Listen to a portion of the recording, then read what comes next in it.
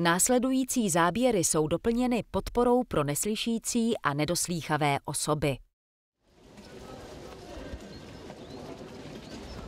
Tak možná, že bychom si mohli říct pár slov ke svatému Hubertu, protože na podzim se jezdí krásné výšky do terénu, jsou to takové slavnostní výšky na zakončení jezdecké sezóny a ty se nám vyvinuly z původních parforzních honů.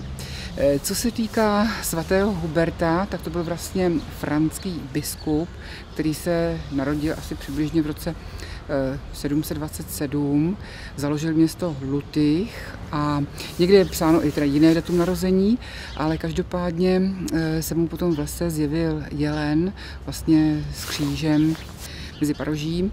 No a on od té doby vlastně se věnoval potom teda šíření křesťanství a posléze teda se z něho také teda stal jeden ze svatých teda křesťanské církve.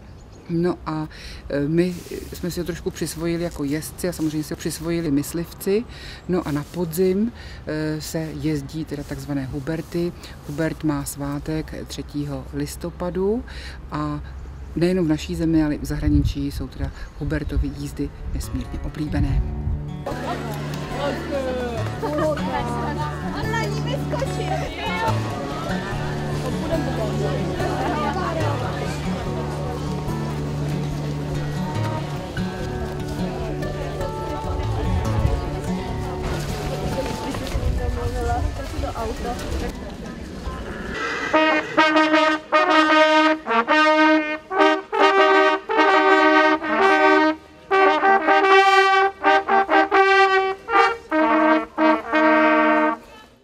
Pane řediteli. Žáci třetích ročníků jsou připraveni k Hubertově jízde v 29 a 3 mástrů.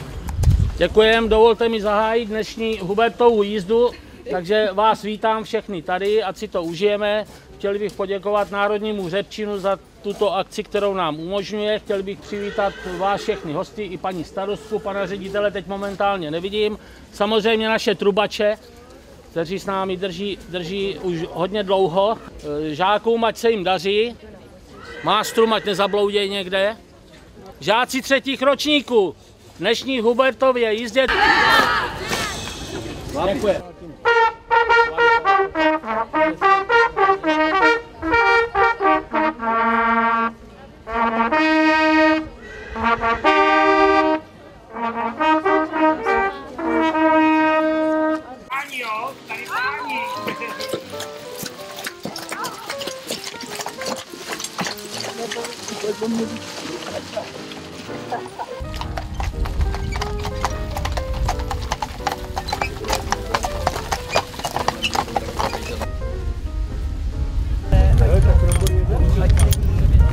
Docela dodržují, že do prvního chvíli.